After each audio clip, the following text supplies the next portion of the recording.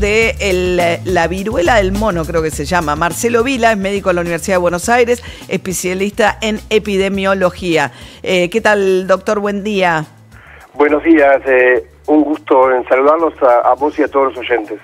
Se- se- viruela del mono, ¿se llama viruela del mono por qué? Sí, en realidad es- el nombre técnico es viruela símica barra Mpox eh, y tiene que ver con que es un virus que afecta hace varios decenios, en los 30, 40 años, eh, a ciertas áreas de, de África. Es un virus que está en algunos animales selváticos, pero que afecta básicamente, o afectaba en realidad, a, a los monos. Y da una enfermedad parecida a la viruela.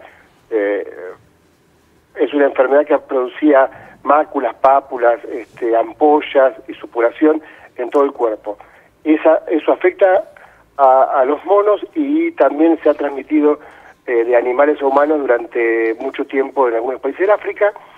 Y en el año 2022 comenzó un brote a nivel global que duró hasta más o menos, que dura hasta ahora en realidad, pero que fue tuvo su pico a fines del año 2022, inicio del, del 2023, y que afectó a ciertas poblaciones.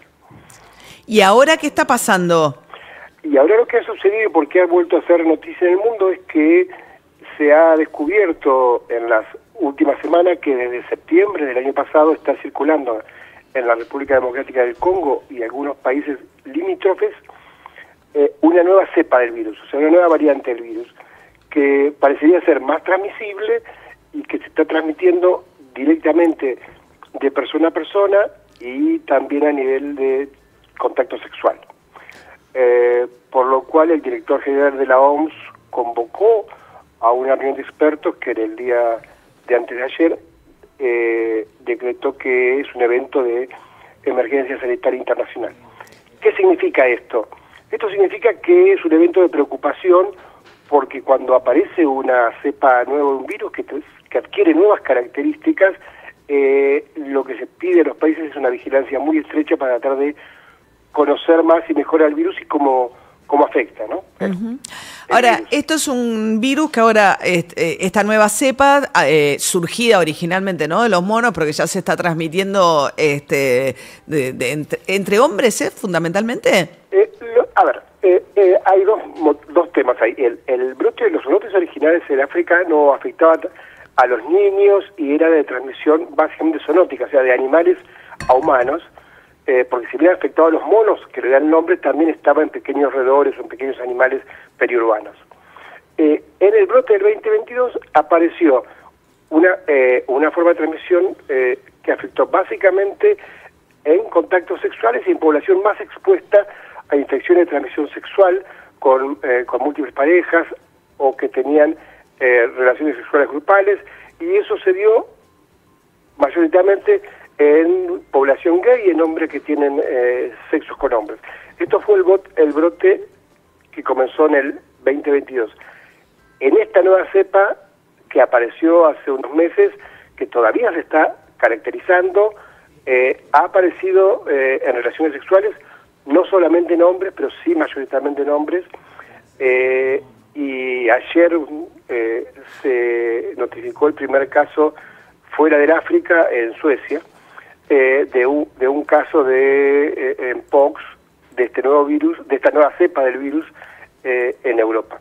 Y acá ha habido casos también, ¿no, doctor? Pero de viajeros, aparentemente. Acá ha habido casos, pero no de esta nueva cepa. De la vieja cepa. De la cepa que viene circulando Sí. desde el año 2022. Y con la... Este, En este periodo, en este periodo del 2022 hasta ahora, la Argentina ha tenido aproximadamente un poco más de mil casos y tuvo eh, algún fallecimiento también.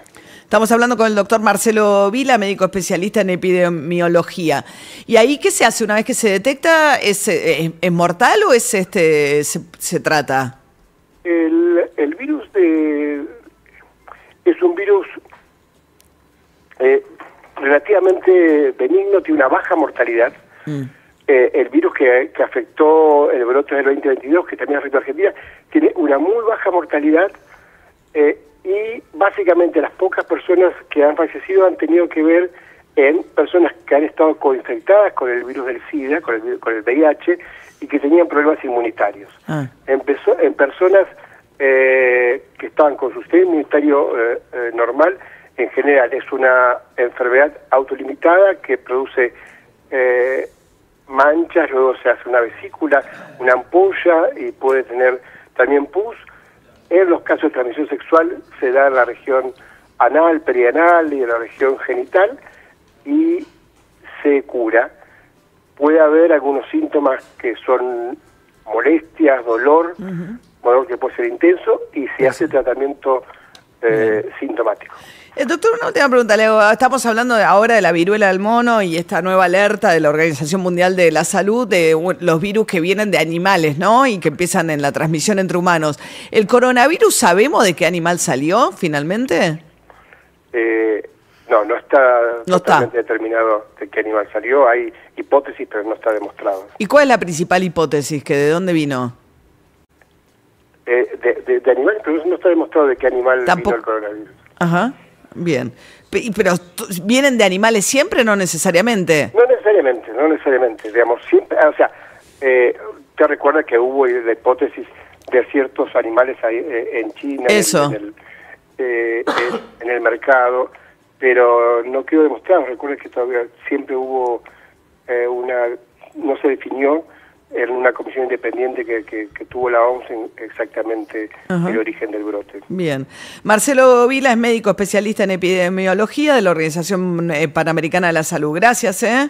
No, muchísimas gracias a ustedes y solamente un comentario. Sí. Que es algo para ocuparse, que los países tienen que vigilar, tienen que hacer diagnóstico, identificar la cepa, pero no para alarmarse. O sea, es ocuparse pero no alarmarse y tomar las medidas preventivas necesarias. Bien, muchas gracias, ¿eh? No, gracias a ustedes. Hasta luego.